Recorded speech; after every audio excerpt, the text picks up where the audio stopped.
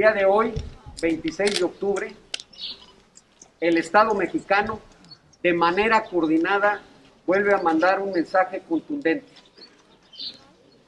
Hoy cerramos de manera definitiva este penal discotel que representa lo que rechazamos como sociedad en Oaxaca y en México.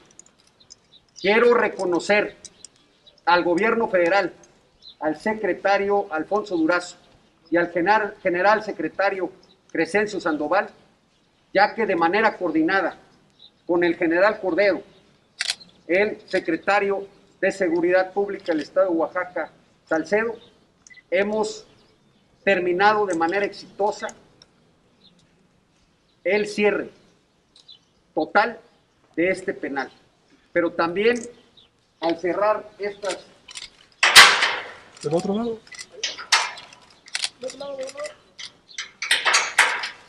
Al cerrar esta puerta, también mandamos un mensaje al pueblo de Oaxaca y de México, que somos más y es más fuerte el Estado para crear y construir nuevas oportunidades y que todos los días trabajamos para que las oaxaqueñas y los oaxaqueños alcancen sus sueños. Muchas gracias.